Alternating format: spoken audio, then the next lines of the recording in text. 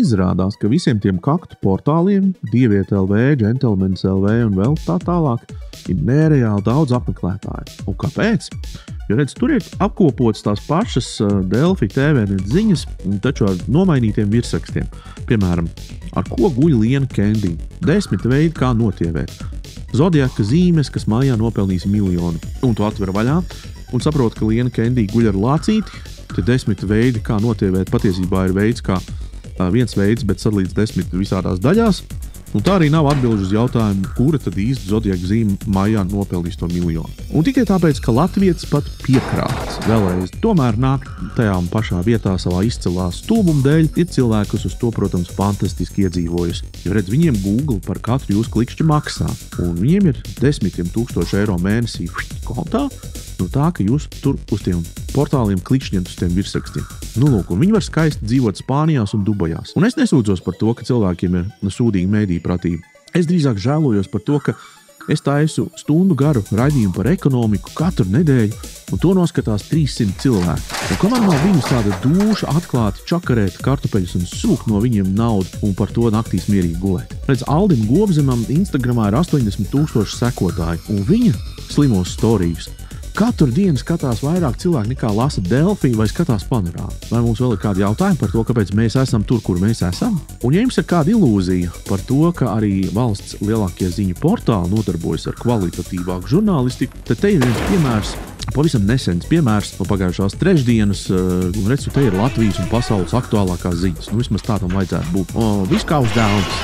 Tātad pasaulē svarīgākās trīs ziņas ir par to, ka redz, ir nomiris vīrietis ar dzelzceļa plaušām. Tad otra ziņa ir par to, ka repšas meitai uh, ir traucējis visu mūžu tēva uzvārds, un par to, ka kādai man nezināmai slavenībai ģimenei, uh, ka tā vēl nav izšķīrusies. Nu, re.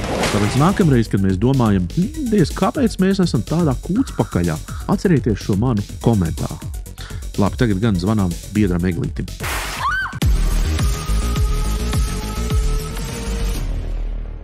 Izskatās, ka šī nedēļa ir tāda kā iestiepusies iepriekšējā. Esiet sveicināti. Nevar īsti saprast, kurā nedēļā pēc kārtas, bet eh, kaut kāds mārts laikam ir. Tā vismaz teica. Čau, Eglīti! Čau, Petersson, jā, ir kaut kāds marts tā runā, ka esot marts aiz loga. Un, uh, nu, vai tad tu nejūti vai nejūti rītos gaismiņu agrāk, kad iet savus lopiņus apkopt, ej savu kaziņu slaukt no rīta uz kūtu, vai tad tev tur nav daudz vairāk gaismiņas jau? Man ir. ir, ir. Protams, ka ir. Skatos, kat, katrs skatās savā, savā virzienā. Piemēram, man pavasars vienmēr ir saistījies ar tādu, nu, citiem ar kaut kādu, kā tev kaziņu slaukt, citiem ar gaiputnu atgriešanos. Citi atkal, kā saka, makarējās ap uh, sieviešu šīm, kā viņas tur sauc. Ko tu nezināji? zonām. Un, piemēram, brauc pilsētā ar 240 km ātrumu. Nu, būtu jā, pūrā un viss. Man sakot, katram pavasaris ir kaut kā mazliet citādāk iestājies. Es varētu teikt, ka jā, Dūlumu neviens nav atcēlis. Cilvēki ir dūli. Nu tā, kā tā nedēļa vispār pagāja? À, nemanot. Godīgi sakot, nemanot. Iestiepās. Kādā ziņā?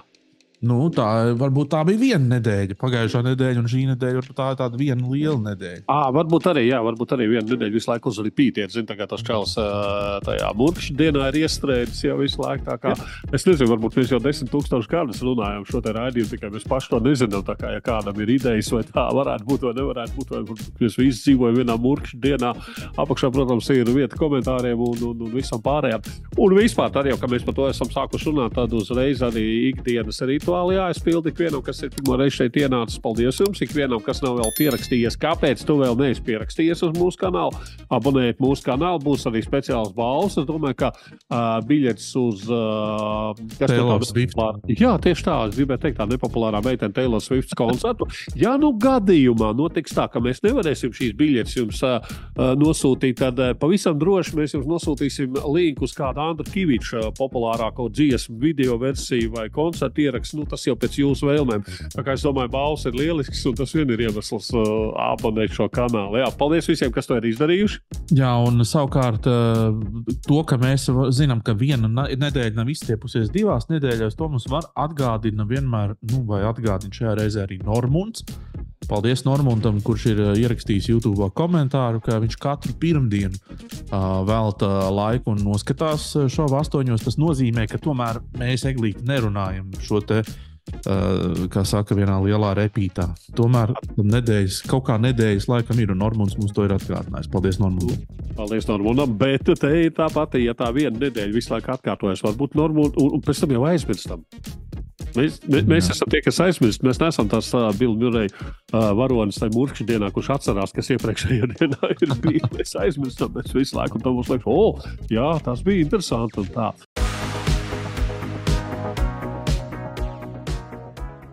Kas šajā raidījumā ir reglīti? Pastāst, mums būs viens viesis, vai ne? Oh, jā, ja mums būs viens viesis, tad mums parasti uzreiz tādas asociācijas. Tas būs Dons, tā būs Lapsane, tā būs Laura Grēviņa. Vai, vai Anete? Mums jau, ir, na, mums jau tāds savējo lokus, vai Toms Lūsis vēl ir? Jā, Toms Lūsis. Viņam gan laikam tagad pašam savus šovus diez vai viņš nāks uz mūsējo. À, nu, redz, jā, tā, tā ir. Saskatījās no labākajiem, samācījās visi no mums. Es domāju, ha, es varu savu, tā kā Benders tajā futūrāmā. Tur es savu šovu uztaisīšu ar Blackjack un Hookers. I'm gonna go build my own theme park with blackjack and hookers. Jā, tā kā Lūsim ir savs. Uh, šovs ar Blackjack un Hookers, un pie mums viņš vairs nav. Bet visam noteikti uh, ciemiņš ir Lapsene. Nu, kurš gan cits? Lapsene. Lapsenē atkal ir jauns gabals, Lapsenē ir lieli jaunumi.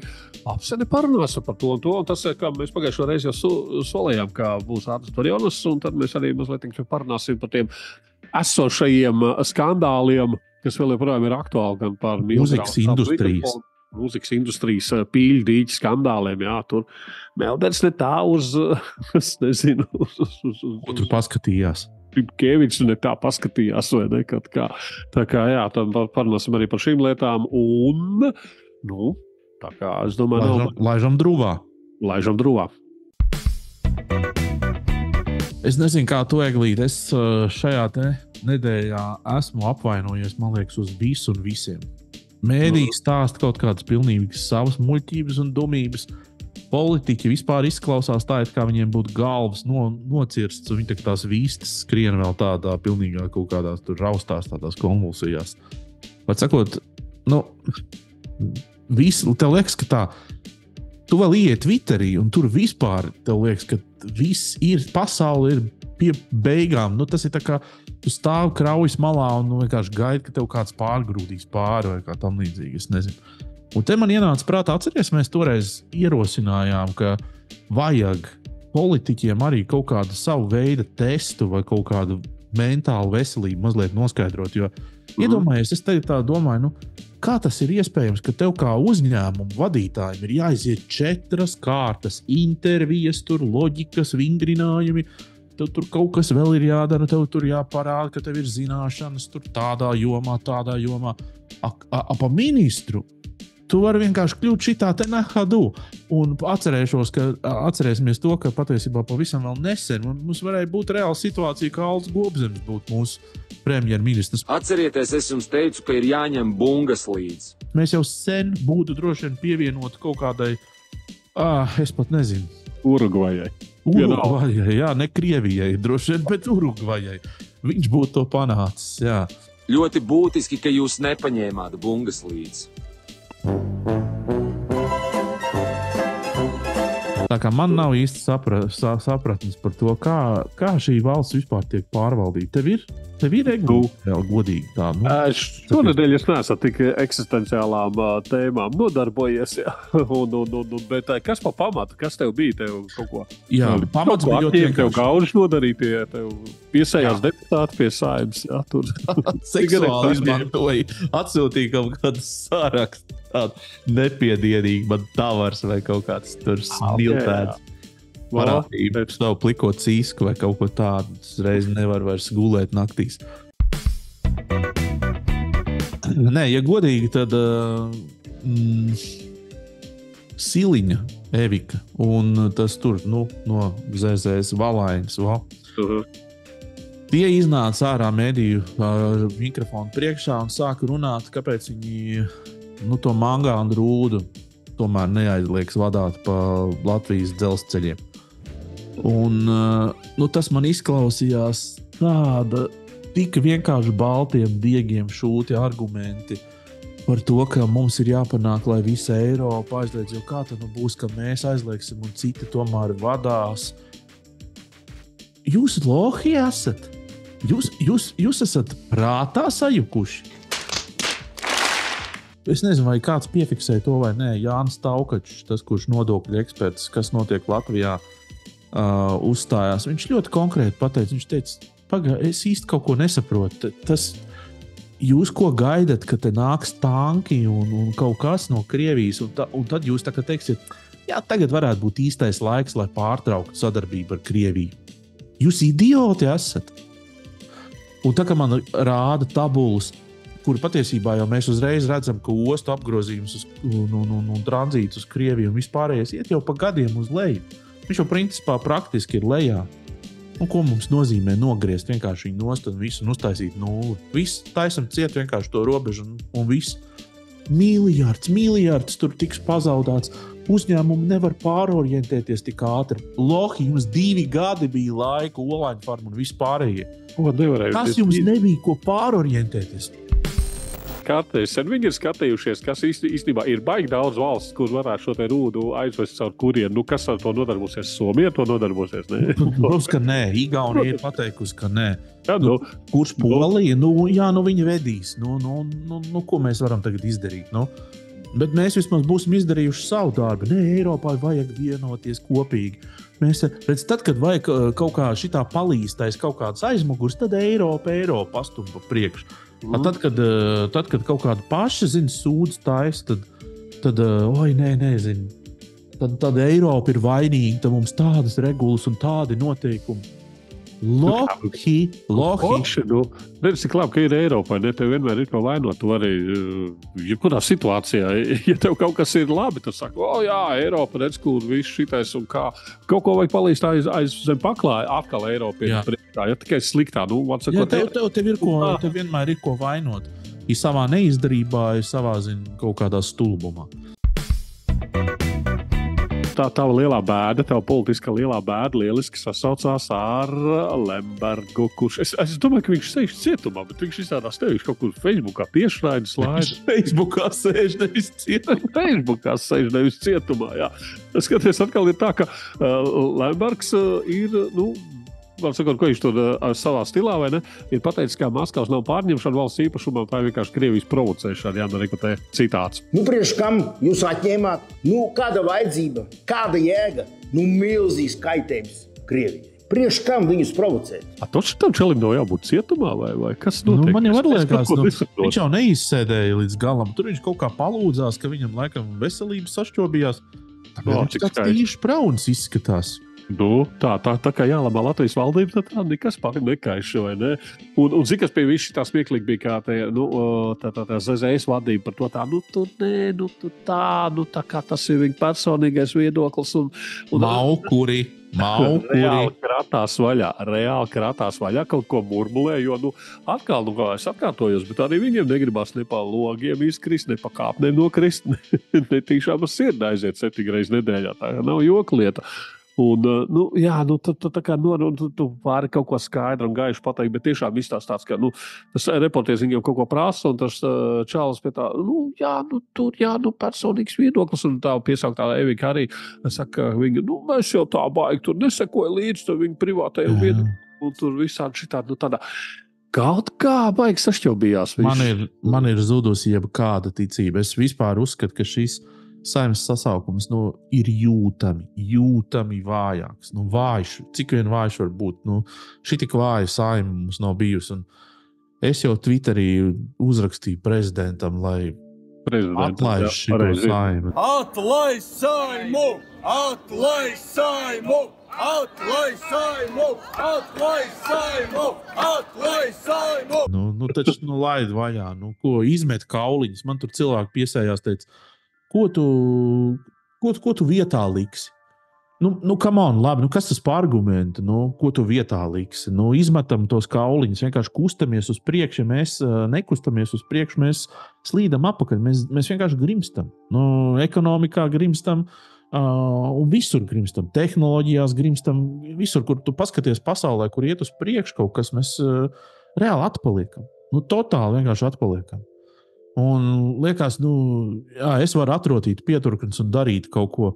Nu, man, piemēram, es teikšu godīgi, prezentāciju jomā, ja, pasaulē, es nesaistos ar Latviju. Nevienam. Es, ne, es nesaistos ar Latviju. Es nekur vēl Latvijas vārdu tā nenesu pa priekšu. Tas nav nekāds olimpiskās, spē, olimpiskās spēles. Vienalga, vai tu sēdi valdēs, padomēs vai kaut kur nu, ārzemēs, ja it kā skaitās nu, jā, ļoti prestiži. Bet, bet, uh, bet tas nav saistībā ar Latviju. To neviens nezina, ka tā, tā, tā ir Latvija vai kā tam līdzīga. Mm -hmm. Un es, es, es zinu, ka ļoti daudz profesionāļu tieši šādā veidā nu, viņi veido karjeras uh, un tā tālāk, ir kaut kur ārzemēs. Un, Un tā varētu it kā jau Latvija likt pa priekšu. Nu, tur daudz ko varētu interesantu paskatīties. Bet uh, tas jau tā nav. Nu, tie, tie, tie mazie vēzīši, viņi nevar pavilkt tos lielos vezumus. Tur vajag, vajag eh, spēcīgus līderus, vajag politikā spēcīgus līderus, lai par mums runā visur. CNN, BBC, visur. Pavasars vēl ir saistīts ar to, ka jauniem cilvēkiem galvās uh, notiek kaut kādas nesaprotamas lietas. Un, uh, varbūt zin, kā, tas ir tā tāds mušs, kas skrien uz gaismu, ka tu centies nosisties. Zini, ja? Es zinu, nē, es tev vēl varu pateikt, es zinu, ka uh, uh, flashbacks uznāca uz šo te pat tādiem tiem jauniešiem, kas, kas reaģēja uz skaņu un uz gaismu, un iet uz kaut kādām diskotēkām. Arī, jā, jā, jā, jā. Paliek pa zombijiem. Jā, iet, Tā mums pavasarī arī ap, tīnūž, ap tīnūžiem ir tur kaut kāda tāda debīlo ģimenīte ar kaut kādiem brāļiem un brālēniem, kas uh, regulāri atzīmējās. Uh, Internetā ar to, kāda idiota un stulbeņa viņi ir. Pilsēta, Dīnu!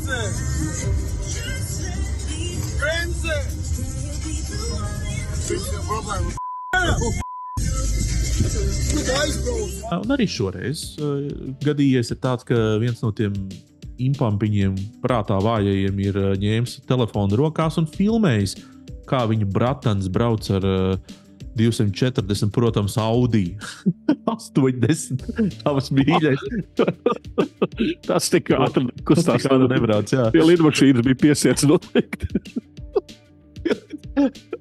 Helikopters vai ukraiņu drots un vilka. O, tā, jā. Nu, labi, bet uh, Čels vācās, uh, vācās, vācās tur tajā līkumā, tur kaut kā nobrauc no ceļa. Pat arī uh, tur to video varēsiet apskatīties. Bet, nu, pat sakot, stāsts ir ļoti vienkāršs. Uh, jaunietis centās nosisties, neizdevās.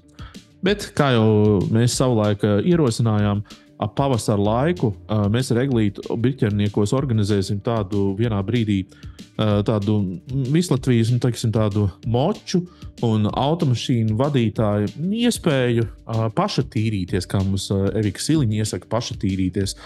Mēs noliksim lielu bet- betonu sienu.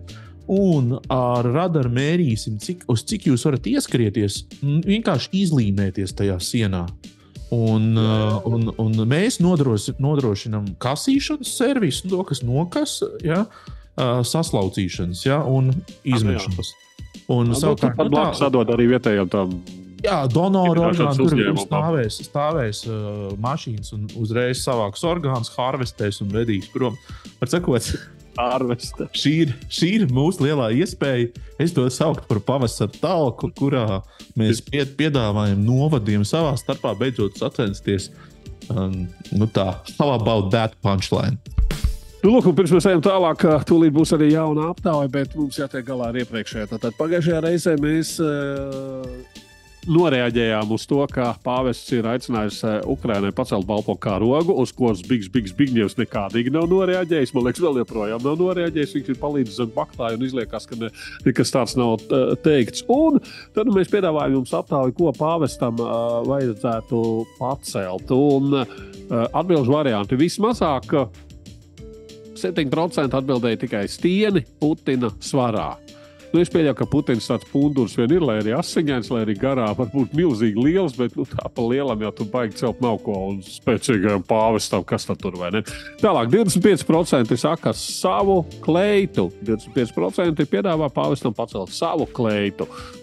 Nu, un absolūtais vairākums šajā reizē - 68%. Tas jau gandrīz tā kā tāds, zina, jaunās vienotības balsojums. Ne? Putina ievēlēšana.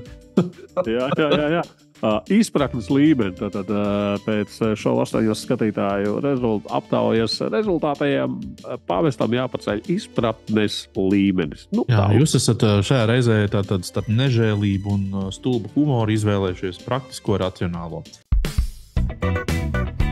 Man tagad ir tāds jautājums. Vai tu zini, kur ir mana roka? Ну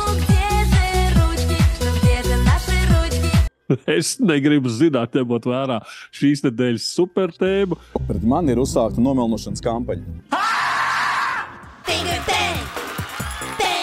Nu, Jālgavas novada domas priekšsēdētājs Madars, Ai. manis ir atzīmējies, makarējot, s- mm, kā saka, sieviešu ģenitālijām. Es gribēju atzīst, ka sieviete ir mana sieva, un uh, pēc būtības uh, es nezinu, par kādiem pieskāriem jūs runājat. Man ir aizliegta rokā aiz sēdekļa, un katram pašam ir uh, iespēja iztēloties savu samērotības pakāpē, kas notiek aiz sēdekļa. Es saku, ka tur nekāda pieskāriena nav, bet uh, tā ir jūsu interpretācija.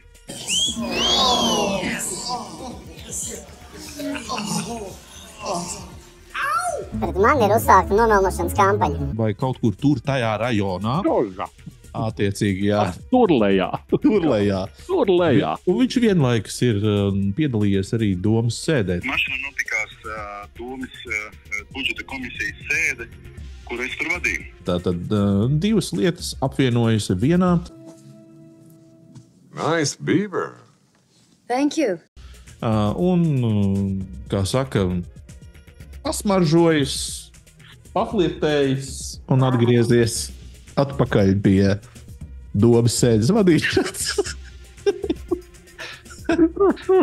Ja viņš būtu īsts pēļņš mekars, viņš kājas vēl būtu apostījis. Kā kā nolaizījis sev. Jā, Nē, nu viņš vēl tāds sēdētājs, blakus sēdētājs, tā kāja tāda. Es jums saku, kad uh, tur bija notika budžeta komisijas sēde. Un tā, oi, tā atsājas, kā aizmirst, ka ir Aizmirsās, vai, vai, vai. Ai, ne jau. aizmirsās kaut kā. Nu, labi.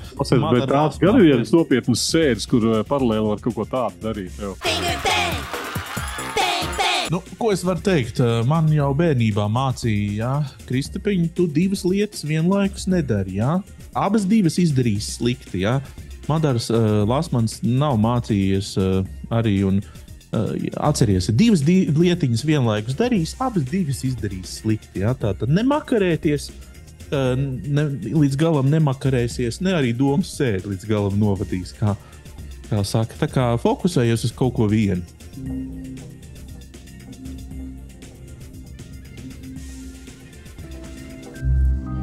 Nice beaver. It's nice.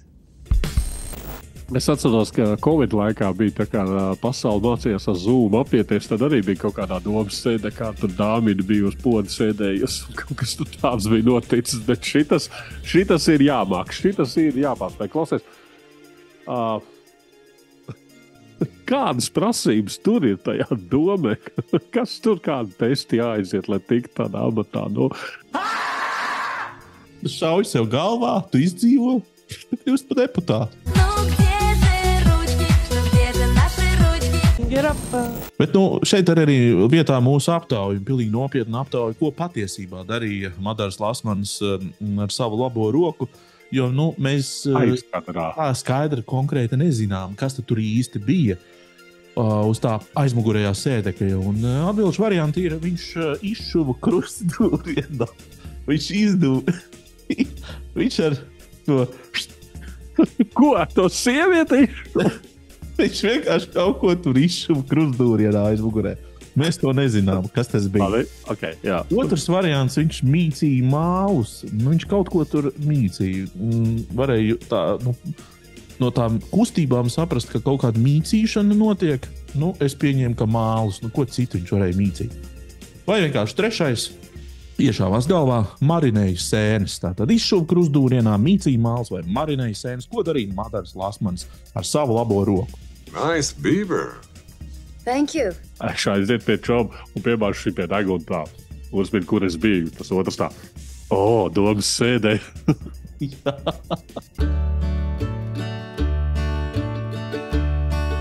Sakiet, lūdzu, mums visu laiku tagad ir runa par studentiem, jā? nu, kas ir apbežots un izmantots. Vai ir viens raidījums vispirms, ja, kur kāda no studentiem būtu izvarota? Vai viņš reāli tādu raidījumu gaida? Jā, no. tātad cilvēks, kurš grib redzēt, kā izvaro students. Un viņš piezvanīja uz radio, un viņš reāli atzīstās, ka viņš šādu saturu vēlas patērēt. Un vai būtu šāds raidījums? Un jautājums, jā, Nu, es domāju, viņam pirmkārt vajadzētu zvanīt eh, Madaram Lasmanim. Nu, Madars eh, gan jau ka varētu viņam ieteikt pāris saitings, kur varētu paskatīties kaut ko. Nu, Oi, šis ir skarbi klausies. Nē, es uh, teiktu, atcerieties vienmēr. Atcerieties, ko es teicu. Sadūšojieties un saņemieties pirms jūs zvanāt. Jūs visu Latviju klausās. Pa, parunājiet spogulī pāris reizes. Ja? Es jau to esmu jums atgādinājis. Pamēģiniet, patrenējieties, ja? un tad zvaniet uz radio. Ja? Un tad formulējiet savu domu. Nu tā. Nav stāsta skumjāka ar mīlas metu, kā stāsts par latvieti un vilcienu. Latvietis un vilciens. Vēl viena dienasčā rubrika par latvieti un vilcienu. Un, uh, Skaties, runā, ka uh, tos jaunos vilcienus līdz vasaras beigām visus atvedīs. Es domāju, pagaidiet, es atkal esmu tajā kaut kādā laika cilpā, kārtējā iekļūst, ko mēs epizodēm. Atkal pirms simts epizodēm, vai kas tas tāds ir? Vēl tā skoda vagona, kas viss nav atbraukuši, viss pa ceļam izjuka, vai kas tur bija. Neviens viņus negribēja salikt. Un, uh, Labi, nākamā ziņa, ko es eh, par vilcienu tēmu, ko es uztvēru, ir, ka pasažieru vilciens uh, izsolē pārdos uh, 20 elektrovielcienu vagonus. Tā kā tev nevajag kādu vagonu jāpaņem, ne varbūt kā 3, 4. Jo kurš gan, nu, kuram, kur, kurš gan negrib vienu, nezinu. Vecāki par eglīti vagonu kaut kur piemājas dārziņā turēt. Un palētos, tad cik no 15 līdz 24 kā var parasto vagonu, lokomotīvs ir dārgāks. Uh, 38 līdz 50 kā. 50 kā ir sanāk ļoti, ļoti, ļoti, nu, tās, teiksim, nu, normāls auto. Jā, es, te, es teiktu, tā, nu, jums ir uh, izvēle starp uh, šo to pasīvo moduļu māju, ko jūs varētu uzlikt kaut kādā dārziņā vai kā tam līdzīgi. Mhm. Vai vienkārši šo vagonu kaut kādu, tad es teiktu, labāk lieciet to vagonu. Jo nu, tas būs pirmkārt rēcīgāk, otrkārt. Uh, Otrakārt, nu jā, nu, otrkārt. Nu, nebūs žēl, ka grafitī tur krāniņš sazīmēs virsū, vai ne? Arī tas pat īstenībā pat tā, tā tas varētu būt. Es pat pats to darītu, visticamāk, apzīmēt ar krāniņiem to savu māju. Nu, es teiktu, tā, tas ir stilīgi, izskatītos, ir tik čoini. Bet, ja mēs izdomājam kaut kādas tādas vecas krāmas, jau zināmā mērā, uh, labi, ka viņi vēl nav aizdomājuši, ka, ka to varētu Ukraiņai ziedot. Jo Ukraiņai Man ienāca prātā viena ideja. No. Amoška, mēs tomēr taisām biznesu. Nopērkam tos visus vagonus, un mēs viņus nopērkam par 15,000 gabalā vienu to dzelzi un nododam tolmetā. Un tur mēs dabūjam 17 štukas, piemēram. ļoti labi ideja, ļoti labi. Es vienkārši mēģināt izdomāt, kāda, kāds akceptē šo ideju. Kādam likās tas jau ok, ko mēs darām ar veciem vilcieniem? Jā. Pārdodam. Nu, Jā. labi, es lieku SSA. Nē, SSA nē. Būtu jāizsludina vēl kaut kāds. Kaut kāds iepirkuma konkurss, kaut kāds. Iepirkuma, kaut, kaut kas, jā, varbūt, uh, vai ne? Jo kurš gan nesapņo lokomotīvu nopirkt? ā? Es sapņoju, jau no bērnības. Vai ne? Vai ne? Mm. Es domāju, Lembergā tajā pūzē tur vajadzētu tur pāris vagonos, viņš tur varētu braukāt apkārt. Priekš kam? Tā, Kas viņam īstenībā nenopirka tur, teiksim, kaut kādus tos tur, nu, viņš brauc apkārt visu laiku ap savu īpašumu. Tur iet dienu un nakti, dienu un nakti iet visu laiku. Viņš pat palaiž viņu, viņš pats iet. Viņš pa laikam vienkārši ielec, pavizinās un tad lec ārā. Viņš var, protams, arī no pieturas līdz pieturai pasaulē garāko vilcienu nopirkt. Zin, tā, nu, no pieturas līdz pieturai viņš iekāp vienā vagonā, un tad viņš aiziet pēc tam vagoniem līdz nākamajai pieturai. Nu, vilciens pat nav izkustējies no vietas, viņš ir nākamajā pieturā. Jā. Man ir vēl viena ideja. Uh, Kimčēns taču arī to izmanto, uh, to savu vilcienu, vai ne? Bruņu vilcienu. O, Ieteikt reāli uh, Lembergam nopirkt savu vilcienu, uzlikt Vēnspīlī uz sliedēm uztaisīt viņiem to, to kā pinpride, tā kā ar visu to šito, tā kā viņi tur lēkā tā. Jā, ar vilciens. visiem diskiem, nu, nu, tādiem krūtiem iegriezt muzonu. Uztaisīt viņu pa bruņu transportieru tādu, un tad braukt uz Rīgā ar, ar, ar, ar šo te Jay-Z kaut kādu tur to Uz melnu. pozitīvus varētu braukt pats. Jā, viņš jau tāds ir tāds tipāžs, kas skanās biksēs un zeltainā jakā. Nu, kāpēc? Tā kā jā, ja kādam ir ideja, kur, kuram vispār pie veselā saprāta būtu vajadzīgs kaut kāda veca krāpa tādu naudu, vilciens pie tā, nu, varbūt ierakstiet komentārā kaut ko. Mēs labprāt kaut ko jaunu iemācītos.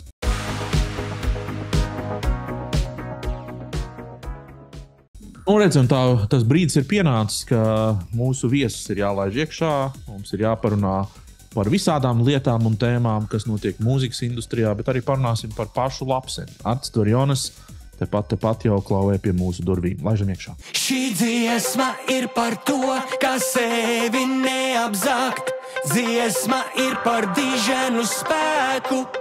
Sen mums neviens viesis nav bijis. ā, Un, ā, ja mēs par viesiem domājam, tad ā, gluži nevilš. Prātā rādās tikai lapsenes attēli, jo man liekas, lapsena vis, visbiežākais viesis mūsu. Kaut gan nē, laikam, varbūt arī nē, Deglī, Nu Pauli. jau vairs nē, nu jau vairs nē. Nu jau Nē, to jau nevar zināt. Nu, starp Donu un Lapsenu tur kaut kur ir sīva konkurence. Tāpat kā zelta mikrofonos un visur citur. zini, kā Katru gadu. patiesība ir starp Donu un Lapseni. Par manas rokas vidējo pirkstu. jauns gabals, um, un uh, tas nozīmē, ka tātad tu esi noslēdzis posmu, kas bija albums, mm, mazais tas albumiņš. Uh, to mēs esam tagad iepazinuši. Lapsen beidzot ir pieņemta. Es domāju, par to liecina arī balva saņemtā. Uh, Pastāsti par tagad šo posmu, kas kurā tu atrodies. Wow, baigais dil- dildo. Paskaties, kā viņa mirdz. Kā mīlīgs, vai ne? Mirdz, kā mirdza, mirdz. Mīlīgs. Labākais, kas tur bija metāla mūzikas albums šlāgeru kategorijā, nesalasīja. Pasakiet, kāpēc man jācer kā rīt. Pārtrauksim mani kā ezeli dzīt. Jā, jā, jā, tieši tā. Ne, nu Jā, apsveicam. labrīt, labdien, labvakar. Ilgi neredzētie Eglīts un arī Petersons. Tā, nu, ir cikls noslēdzies ar, ar vienu tādu zelta statueti. Ļoti labi noslēdzies. Un, un tagad, tagad ir uzņemts jauns kurs Lapsenē. Jā. Augstu gaisā no izslēgts, lai pamanāms no tālienes. šis noietais ceļš no vienas puses šķiet, ka ir bijis ļoti garš un, un pat uh, radoši kaut kādā ziņā mokošs un ļoti lielu tādu fokusu no manis prasošs, bet tāpat laikā uh, ir arī sajūta, ka tas ir noticis gaismas ātrumā. Šitā te. Tu tādā vienā, ar vienu situāciju tu jūties divējādi, ja? tā varētu teikt. Jā, tieši tā. Un, un, un, un, un, uh, un, un jā, nu, tie trīs gadi, plus mīnus aiz muguras, uh, albums izdots. Un, uh, albums ir arī ļoti labi. Šis noietais cikls man pašam ir beidzot uh, tā ļoti skaidri nodefinējis, kas ir lapseni. Jo, nu, uh, Nav jau noslēpums, ka uzsākot, tev tā vīzija ir, bet, uh, bet uh, tu to savu to Uh, to savu es vēl meklēju, un kāds būs tas audiālais, tā, audiālā identitāte, tas ietērps un, un tēmas, par ko tu dziedāsi, un pārējais. Tas viss ir vēl tāda liela mīkla, tu to visu veido mīci, un, un, un tagad ir tā sajūta, ka es esmu uz tām īstajām sliedēm, un ma- man pašam ir skaidrs, kas, kas ir šis projekts. Tā ir tā lielākā vērtība, droši vien, šī pirmā albuma cikla. uh, Tā lielākā vērtība, ko es, ko es varu atzīmēt noteikti. Ļoti laba sajūta, un, un, un kas ir galvenais, ļoti liels prieks, ka industrija to ir no, novērtējusi. Industrijas cilvēki, mūsu mazās Latvijas mūzikas industrijas cilvēki, un tas man vēl jau vairāk dod tādu. mm, Jā, dod tādu lielu atspērienu tālākajam, tādu apziņu, ka es, ka es to varu darīt. Es varu mūziku rakstīt, un, un pat ar, visu, akceptēts. pat ar visu to, ka es esmu diletants šajā jomā, diezgan liels. Augstu gaisā vēl uzsveroties, tavas nekompetences. Tu teici, ka tu esi atradzis sevi.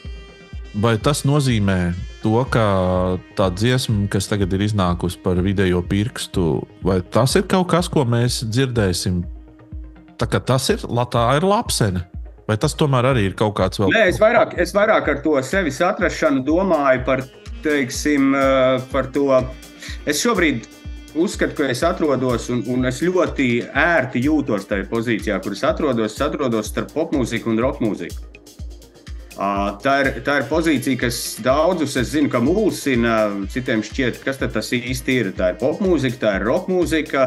Vēl jau vairāk runājot par kategoriju, kurā man izdevās šo te iegūt, eh, kas ir diezgan pretrunīga kategorija, jo tajā ir apvienota gan roka mūzika, gan metāla mūzika. Un eh, metāla mūzika tomēr ir tāds eh, pietiekami radikāls, tāds tālais roka mūzikas žanrs. Ja?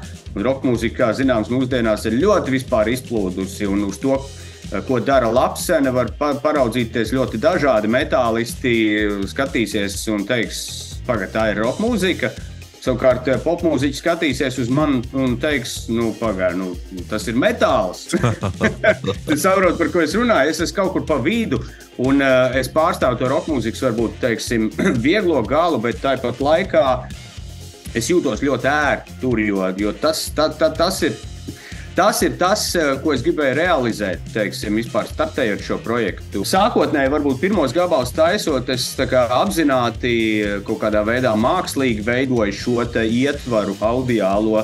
Uh, tad man ir prieks par to, ka pēdējos gabalos jau un vispār pēdējās dziesmas rakstot.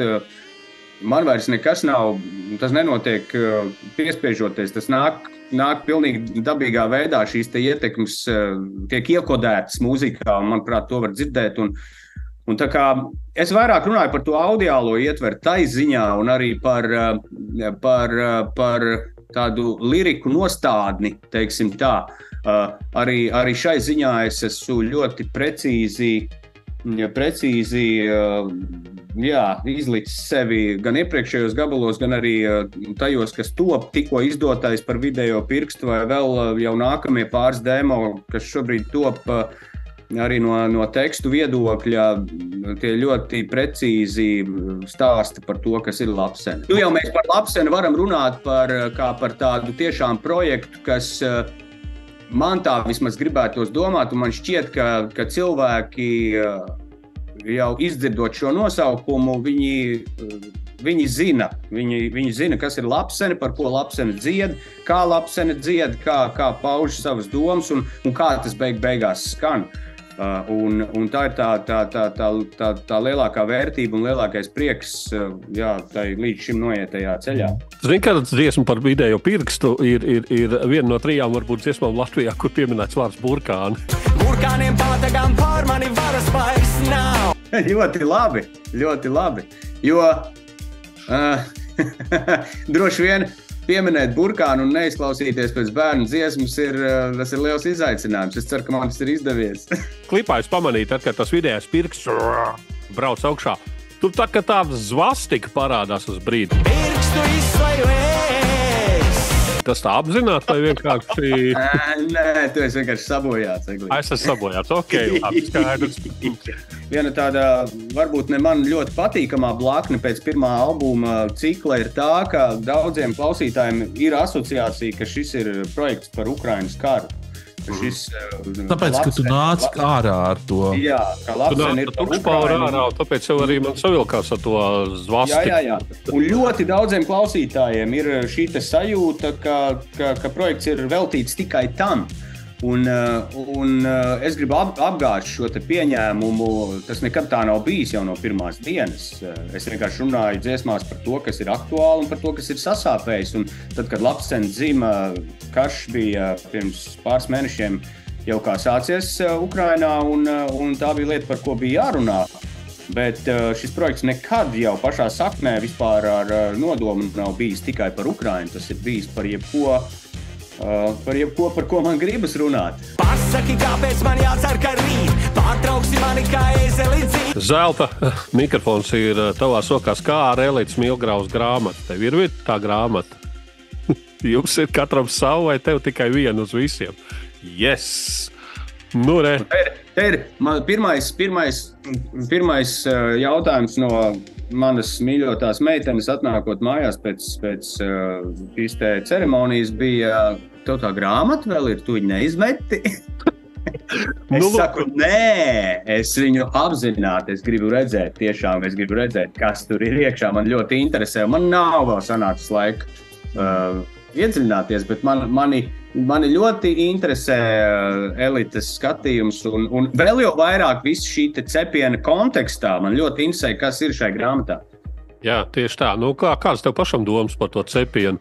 Kā tev šķiet, skaties, tavs šoms uh, DJs Rūds paziņoja, ka Jā. tas ir sūds un pieci. Račīnskis Mēs jau, mēs, uh, es varu pačukstēt, ka šobrīd jau pilnā sparā rakstām nākamo singlu, jauno dziesmu. Mēs ar Rūdu strādājam studijā, un Rūds būs producents jaunam gabalam, un uh, atkal mēs trešo reizi sastrādāsimies.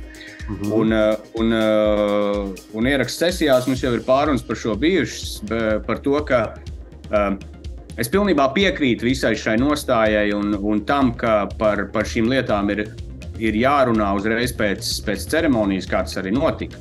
Tāpat laikā, nu, es jau teicu, Rūdim, tu man mazliet svētku sabojā, protams, ar šo visu ierakstu, jā, bet, eh, bet eh, es no, no, no balvu saņēmušiem muzeķiem vēl esmu tāds diezgan, diezgan piezemēts, un es viņiem tā draudzīgi saku, nu, tu man mazliet pabojāji, ja to, to svētku sajūtu. Līdz ar to man arī uh, preses relīzē izdodot jauno dziesmu, nācās varbūt šo to bišķiņu parediģēt, tā kā tas. Uh, Tā pieskaņa zelta mikrofonam varbūt nav vairs tik spoža, kā bija agrāk pēc šī visa, bet, uh, bet ir mākslinieki, kas ir vēl vairāk iecepušies un Rūdim tiešām nopietnā veidā pārmetuši par to, ka, ka viņš viņiem ir svētkus sabojājis.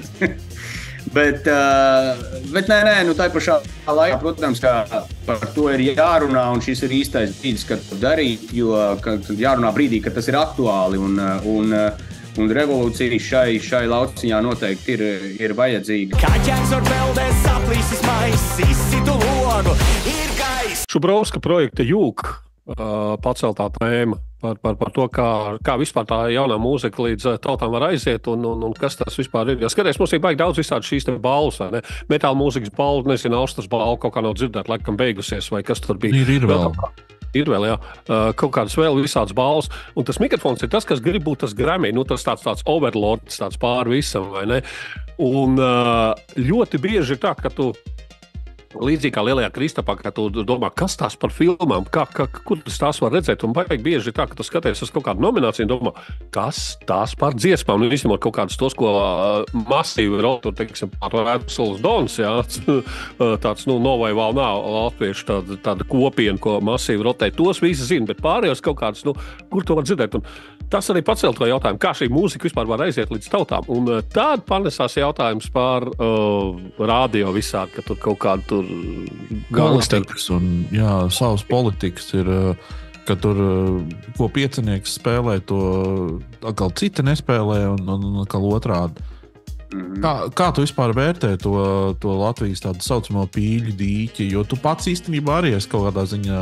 Nu, jā, es jau pārstāvu arī uh, mē, mēdījus un pārstāvu arī radio. Līdz ar to es to, to, to, to iekšienu, kā saka, visam zinu. Un, uh, Es varu es pat pavi- pirms tu sāc atbildēt, es pavisam īsi izstāstīšu. Man bija saistībā ar Fakapnaits. Uh, tur bija mēs runājām, tur Māra Upmana Holsteina piedalījās. un Viņa teica, viņa teica ah, es atceros, jā, mums bija tāds viens fakaps, kur tur publiski mēs kaut ko, un tā mana producenta kaut ko pateica par uh, Artidvarjonas kaut ko tādu.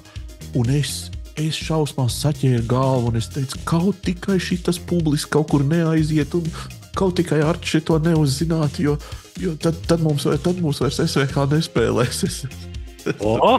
Mazais diktators Johaidis. Dos, dosmējos, es domāju, nu, tas tik interesanti, ka tie mūziķi tik satraukušies, lai, lai tikai tie Tāpēc, ka Latvija ir maza, nu, diemžēl tas tā ir. Nu, labi, 4,5 radiostacijas, nu, tādas, kas ir, kas ir ietekmīgas radiostacijas. Protams, to ir vairāk, bet kas tiešām kā, diktē tos noteikumus tajā pašmāju latviešu mūzikas tirgū, teiksim tā. Uh, un, uh, un ir ļoti liela greizsirdība savstarpēji. Eh, starp šīm stacijām, tāpēc ka mēs esam maz, eh, un ja viens kaut ko, tad otrs nē, un nedod Dievs, ka tur kaut kas tā un šitā. Un... Bet tajā pašā laikā jūs draudzējaties. Ir taču Instagrami, kur es redzu, kur Breidaks iet uh, vakariņās ar Melderi un ar Star FM un visi draudzīgi. Kā saka, viņiem tur kaut kāda savu tradīciju. Taču radio savā starpā taču arī draudzējās. Nav tā, ka Nē, protams, ka draudzējās. Par to, par to nav runa, bet tas ir tāds vairāk, ā, tāds, tas, tas ir tāds, kā lai saka, tāds virspusējais slānītis tam, tam, tam visam stāstam. Jā. Uh, dziļāk parokot, tas nav tik vienkārši. Un, piemēram, es arī varu pateikt par sevi. Nu, uh, tieši tas pats stāsts. Tā kā es pārstāvu radio SVH ikdienā, un tā ir mana darba vieta, man ir ļoti nelabprāt pārējās radiostacijas spēlē. Ļoti nelabprāt. Tieši šī iemesla dēļ, un tā tas vienmēr ir bijis. Un, un, un, un, un, uh, Tā gandrīz, gandrīz, nu nevienmēr, bet bieži vien tā tas ir bijis arī ar citām, citu radio ēteru personībām, kuras ir dziedošas, Uh, arī, arī mūsu galā. No tām 4,5 radiostacijām, kurām ir tā ietekme daudz maz, kas dala to pīrāgu, uh, četras no viņām, grubi sakot, ir, ir komerciālās radiostacijas. Turē vēl kas mani pirksti lēnām,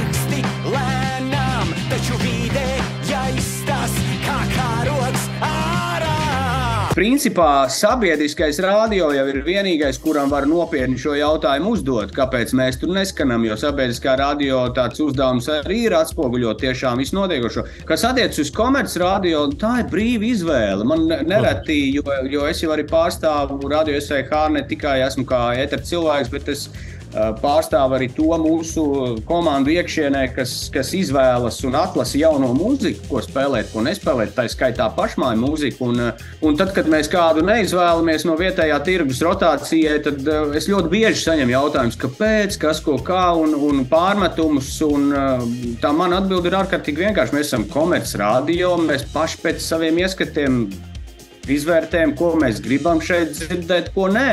Un uh, man bija par šo tēmu vēl pagājušā gada augustā ļoti, ļoti gara un nopietna telefona saruna. Pat es pat teiktu, tāda telefoniska saķeršanās ar vienu ļoti spilgtu personāžu Latvijā, kurš uh, kurš pa, pa dzimšana, dzimšanas dienām daudz spēlē, četras reizes nedēļā, un, un vēl visādi citādi skandalozi iznesās. Es domāju, ka jums uh, divreiz, divreiz Nojaut ir. nebūs- Nojaut ir, jā, jā. nojaut par to ir runa. Katram māksliniekam ir jāsaprot, ka viens ir mūzika, ko viņš rada, otrs ir kaut kāda pieskaņa, kas nāk līdz viņa vārdam. Ne katrs, ne katrs mm, komercradio grib šo pieskaņu ēterā. Ja? Jo, jo, jo, ja tu dzīvo dzīvi, kas, kas teiksim tā, kur uh, tavas uh, ārējās darbības uh, ir spilgtākas un, un aizēno tavu muzikālo darbību, tad rēķinies, ka ne viss izvēlēsies to, ko tu tur mu muzikā mākslā dari. Un tas pats arī ar mani saistībā. Nu, tu visiem nekad neizpatiks, un es, un es saprotu, ka arī, arī kaut kādas tēmas, nostājas manas personīgās un tam līdzīgi varbūt ir ne visiem komercradio uh, ērtas. Un tā ziņā, nu, kā es respektēju arī no, no, no, no vienas puses to, ka mani citi radio nespēlē komercradio, bet tai pašā laikā, nu, uh, tai pašā laikā, protams, jau negribētos, ka, ka, ir, ka ir šīs pīļdīķu, pīļdīķu kaujas, kādas, kādas pie mums vienmēr ir bijušas un droši vien būs dēļ, dēļ uh, valstiskā izmēra un uh, tirgus izmēra. Jā.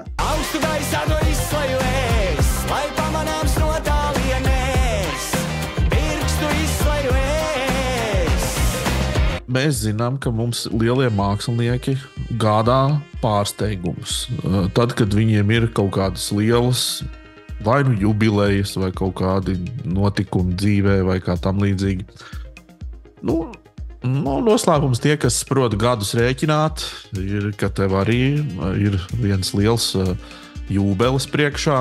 Tu domā, es došos Un, savā lielās jubilejas stūrē. Es domāju, ka dara? Nacionālā opera jau ir nofraktēta, un, uh, un, un, un kaut kas uh, le, legacy, legacy koncerts jau ir sagatavots.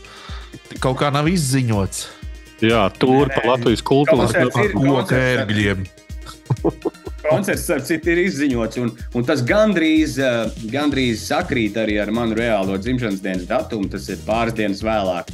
Bet uh, šim koncertam nav vispār nekāda sakara ar, ar, ar manu dzimšanas dienu un, un vecumu.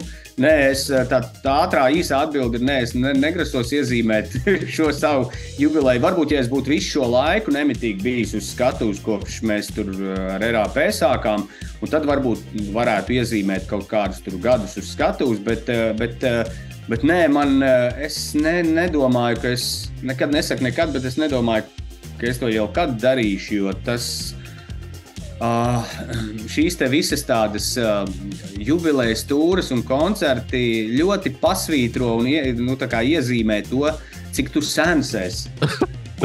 un, un, uh, un es droši vien neesmu tas cilvēks, kuram gribas to ļoti izcelt un pasvītrot, jo man patīk arī mūzikā un visādi citādi meklēt jaunus izaicinājumus. Man daudz kas patīk pasaulē no jaunā, tā skaitā arī mūzikā. Un, uh, Un, uh, un, uh, es, es esmu jaunā meklējumos, līdz ar to es uh, negribu iezīmēt sevi kā vecu pastāvu, kas tagad jau tikai atskatās uz to, kas ir darīts. Vēl kāds, mani pirksti lēnām, taču vidējais tas kā karoks, ārā karoks, ārā karoks. Koncerts tiešām būs. Tam nav sakara ar jubileju, bet koncerts būs. Tas būs mūsu pirmais tāds. Pirmais pavasara koncerts, par pirmais šī gada koncerts, un tāds diezgan vērienīgs. Es domāju, vismaz Latvijas kontekstā, ja neskaita pagājušā gada festivāla uzstāšanās, tad pat vērienīgākais. Un, uh, koncerts notiks 26. aprīlī, 26. aprīlis Tallinas ielas kvartāls Rīga.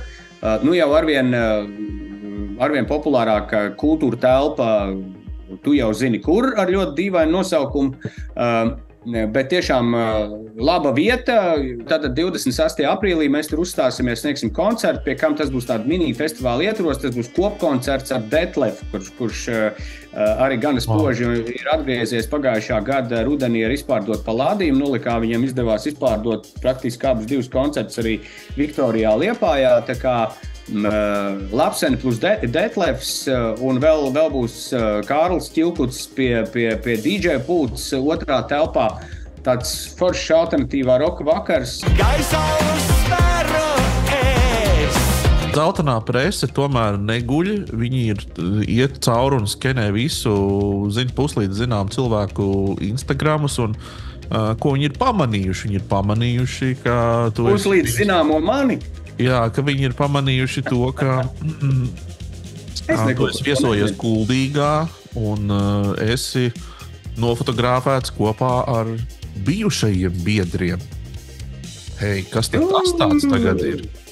Tur redzēji, ko. Es nezināju, ka šito lādīti jūs arī gribēsiet vērt vaļā. es nezinu, komentē, kas ir publiskajos sociālajos tīklos. Es jau tikai pajautāju. Tas interesantākais, ko pēc šīs bildes publiskošanas vēl, vēl janvārī uh, daudz savilka paralēlis ar, ar to, ka Guanoēps taču būs Rīgā.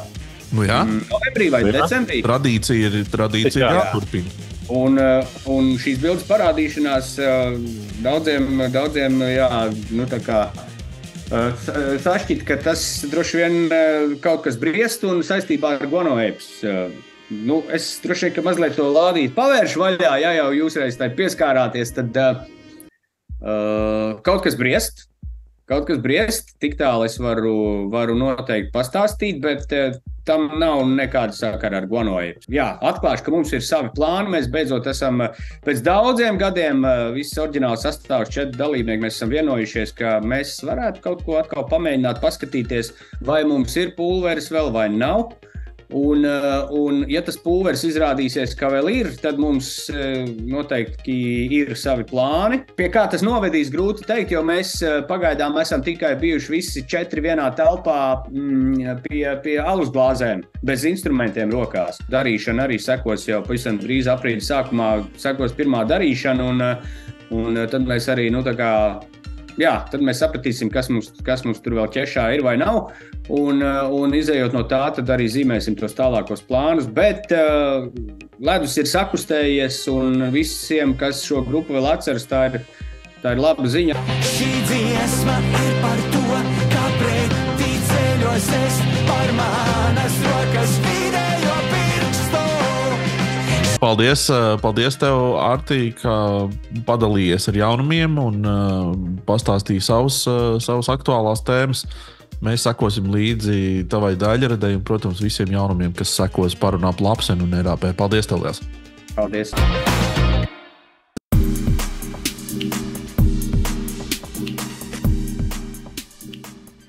Sen nav bijis nekas klausāmajā vielā, tad nu, te ir īstais brīdis, lai dažas lietas pieminētu, kas no tā brīža līdz šim brīdim šovam astoņos ir līdzies gan svarīgi.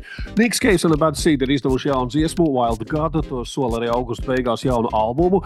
Jāsaka, neierasti varbūt pat dzīvespriecīga dziesma Nika Keiva standartiem un nu, ar nepacietību gaidām šo jauno albumu. Trokšņu ministrs Sals Jurgensons un viņa apvienība ministrija izdevuši kārtējo albumu Hopium for the Masses. Nu, un jāsaka, ka tā ir tā ministrija, pie kāda mēs esam pieraduši, nav pārāk spilgta.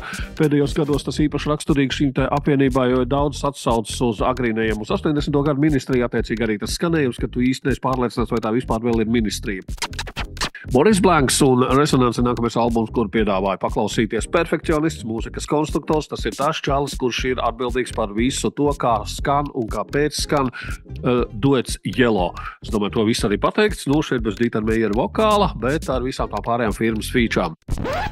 Ļoti saudabīgs albums ir no Kimas Gordonas, kas ir bijusi Sanikjūta basiste. Un uh, viņas albums The Collective ir tāds kā spoken words ar uh, masīvajiem beatiem, ar uh, visādām jocīgām skaņām. Nu, tāds uh, pilnīgi pazeme Ņujorkā kaut kur uz rīta pusi. Ikdienišķi lecīgs britānisks albums ir uh, iznācis uh, Laimam Gallagheram un Džonam Skvēram. Attiecīgi ar uh, visām atsaucēm uz visu, kas ir labs bijis brītu mūzikā, un arī uz abām pašas uh, grupām, attiecīgi Oasis un Stone Roses. Un tās izklausās pēc vienkārši tāda strādnieka roka no Anglijas. Patīkams instrumentāls, elektroniski sapņainas, uh, neonīgas, mazliet, mazliet neonīgs. Arī ir uh, Fortet jaunajā albumā Sweet. Tā kā viss šīs noskaņas visiem tiem, kuri uh, grib uh, skatīties uz dzīvi kā uz tādu 80. gadu filmu soundtracku. Viens no jaudīgākajiem albumiem pēdējā laikā pieder Meat Buddies. Tas ir Flora Ocean Tiger Bloom. Tas psihedeliskais roks runā, ka tas esot par negatīvas pieredzes pārvēršanu pozitīvās emocijās. Masīvas ģitāras sienas, masīvas bungas. Nu, tāds kārtīgs alternatīvais roks. Džizam arī šeit nu pat, nu pat izdevusi savu jaunāko albumu, Glasgow Ice, un lai arī cik ļoti mīļa man šī grupa bija apmēram pirms gadiem 10, 15, šajā reizē man jāsaka, ka šis albums ir diezgan liela vilšanās, gluži tāpat kā viņa iepriekšējais, jo tas tik ļoti ne Džizas un manīčainīgi izklausās, kā šķiet, ka tas ir vienkārši tikai tāds kaut kāds demo ieraksts vai varbūt kaut kādi čaļi, kur ir fonā klausījušies eh, šo te eh, lielisko savā laikā grupu. Diemžēl nē, nu varbūt vairāk jāpaklausās. Latviešu turbofolka apvienība Oranžās brīvdienas ir izdevuši jaunu albumu ārā. Nu, izklausās tieši tā, ka čaļi spēlē 20 cik tos gadus vienu to pašu dziesmu. Visu laiku ir ai, hei, hei, hei. Nu, tādā tempā tas visu laiku arī nesās cauri. Un, godīgi sakot, tās dziesmas nav īpaši atšķirāmas. Vienā reizē var derēt vienam tādam uh, dzertiņam, bet uh, vai to speciāli skaidrā pēc tam nākamajā dienā klausītos, es stipri šaubos. Vēl viena lieta, ko iespējams skaidrā neviens nav noklausījies no A līdz B, uh, vismaz man tas nav izdevies. Arī pietiekamā reibuma pakāpē man ātri apnika, un tas ir aptiekas bērnu ansamblis un viņu albums Tunku Cīncis. Kaut kas no alternatīvās realitātes, kur būtu uh, panka mūzikas vietā, būtu šlāgeris. Nu, tādi mazliet pajēli teksti. Nu, šis tas varbūt lauka zaļuma ballēs kaut kā, kā joks var noderēt, bet kopumā tas nav baigi klausāmi.